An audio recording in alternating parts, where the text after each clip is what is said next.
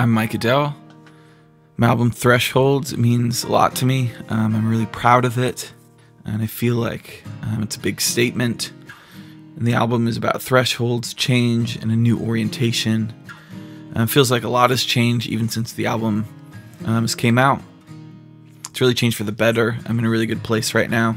Um, so now I'm releasing um, a Thresholds acoustic EP and there's five new acoustic versions of songs from Thresholds, and I recorded much of these songs uh, myself, and most of them sound a little more like the time uh, when I wrote them.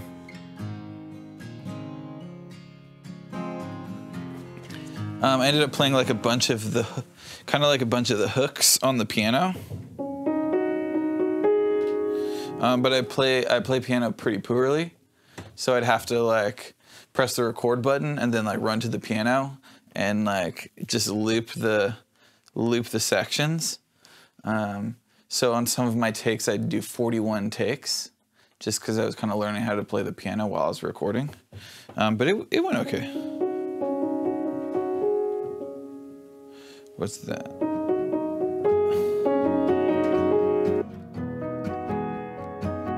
It's been fun to make these songs and not worry about being acoustic guitar guy.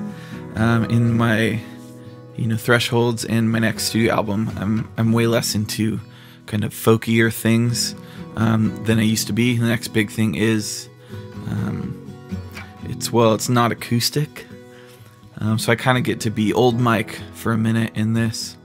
Um, so enjoy old Mike, enjoy the Thresholds acoustic EP. Stay on with me. Don't hang up tonight. In a fight, just leave. I make it for the morning. Just stay on,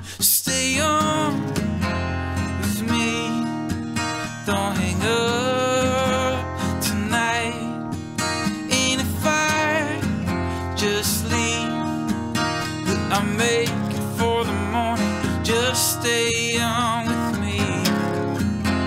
And just stay on with me. And just stay on with me. And just stay on